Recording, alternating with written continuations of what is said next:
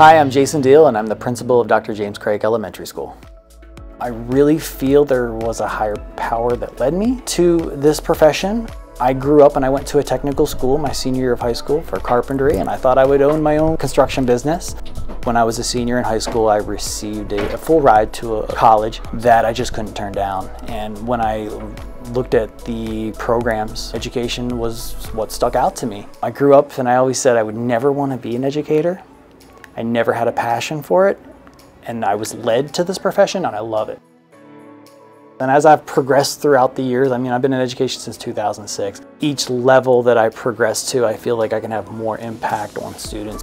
Having served four years in the capacity of vice principal. I know our community members, I know our families, I know our students, and being able to address the needs and concerns of the community is really important to me. And we have a history of excellence, high academic achievement, and I, I really look forward to enhancing that and taking it to even higher levels.